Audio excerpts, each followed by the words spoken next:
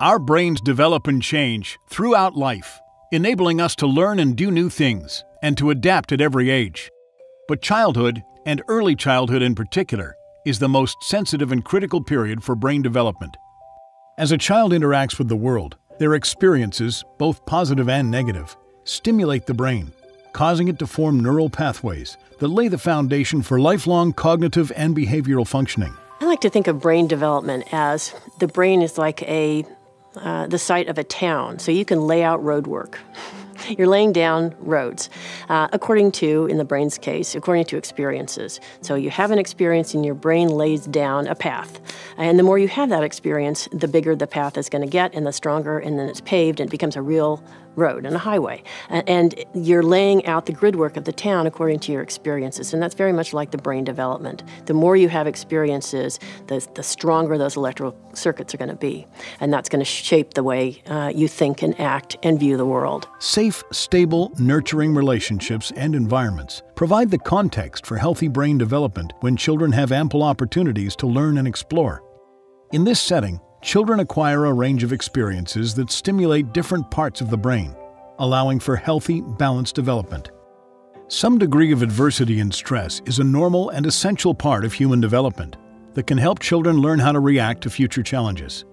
But a child who's repeatedly exposed to adversities like abuse, neglect, or unstable relationships and environments may experience what's known as toxic stress, and this can disrupt brain development our experiences literally shape the way our brain is developing in the brain architecture. So if you have a baby, a very young baby, who cries when they're hungry, uh, and mother comes over and feeds the baby and helps the baby settle down, the baby goes back to sleep, that happens what, five, ten times a day. And that is laid down, those electrical circuits are laid down in the brain. And so the baby learns that you cry, you get fed, you soothe, and you go to sleep. And that experience is sort of coded into the brain, just like any other experience.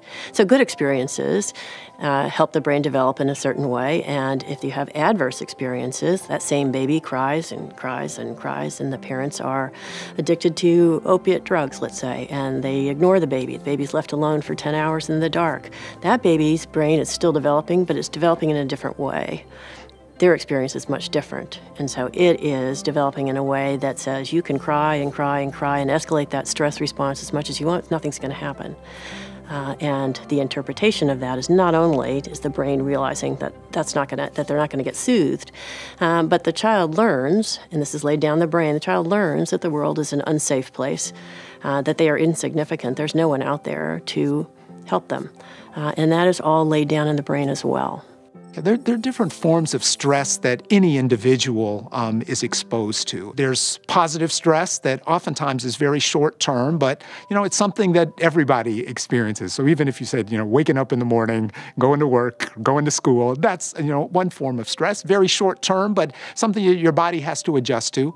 Um, you can have you know very um, neutral forms of stress that are a little bit longer term, but things in which you know there are resources and support that help you adapt to it. Whereas there's other kinds of things that are more long term kinds of negative stress. And that's where toxic stress really fits into.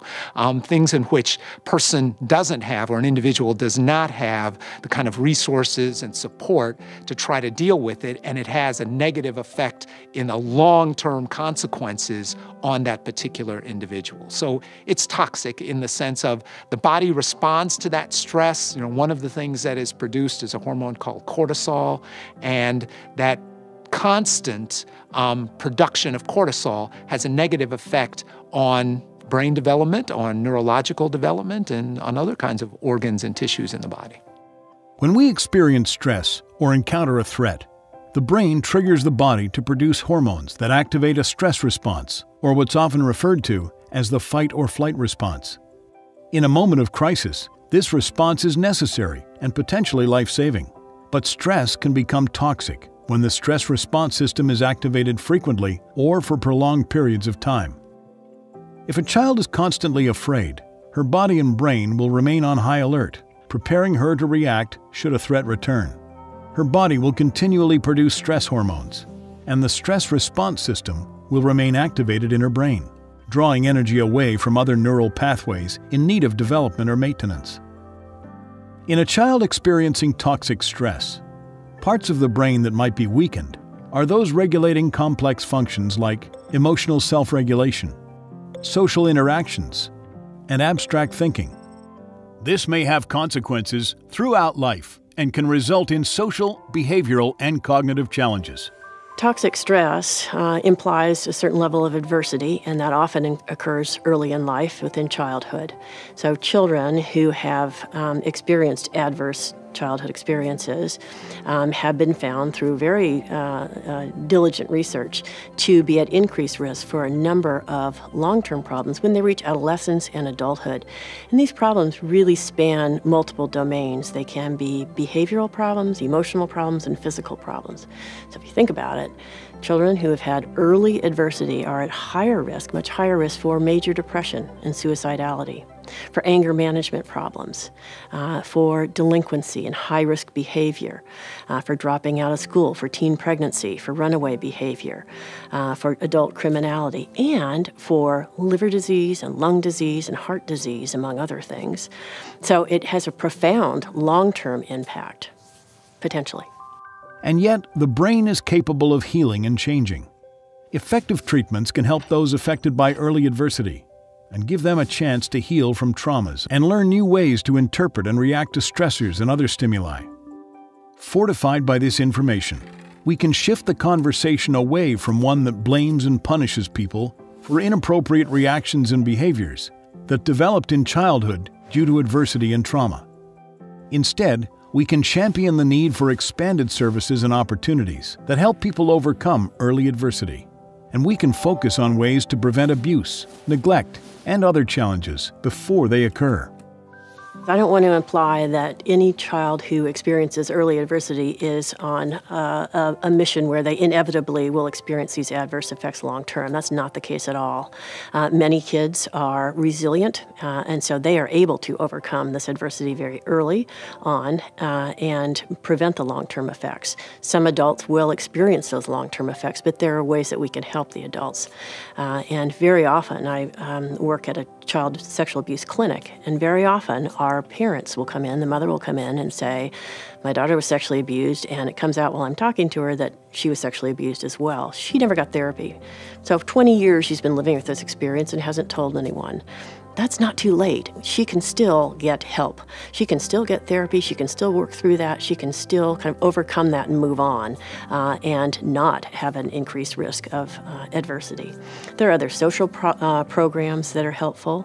For example, programs that help people uh, develop some of those skills that maybe they didn't develop early on. The, the skills are related to planning, controlling their emotions, and controlling their impulses, and getting hold of that automatic response that jump to anger, getting hold of that, calming it down, learning how to do that can help tremendously. CDC is the nation's public health agency, and as such, we're really interested in those factors, risk factors, and protective factors that influence health. And it turns out that early adversity in the form of violence and other adverse events has a profound impact on health throughout the lifetime. Mental health, in, impacting infectious diseases as well as chronic diseases. So, as such, early adversity and the, and the influence of that is, is critically important from a public health standpoint, and it's strategic.